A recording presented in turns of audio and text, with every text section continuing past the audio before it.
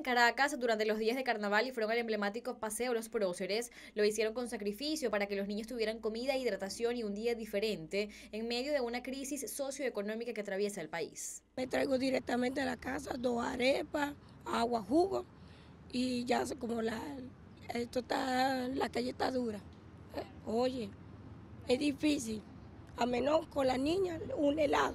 Unos 30 bolívares para que el niño se coma algo y y uno cancelar pasaje y qué sé yo. Para ahorrarse los entre 10 y 20 dólares que cuesta un disfraz, muchos recurrieron a un costurero familiar o usaron materiales de bajo costo.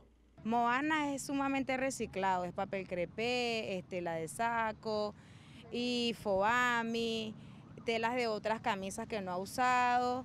Las familias entrevistadas indicaron estar vacunadas contra COVID-19, sin embargo, prefieren seguir cuidándose. Intentamos evitar las, con, las concentraciones de gente. ¡Feliz carnaval!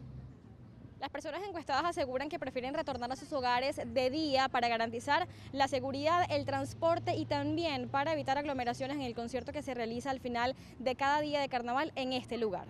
Desde Caracas, Venezuela, informó Mariana de Barros.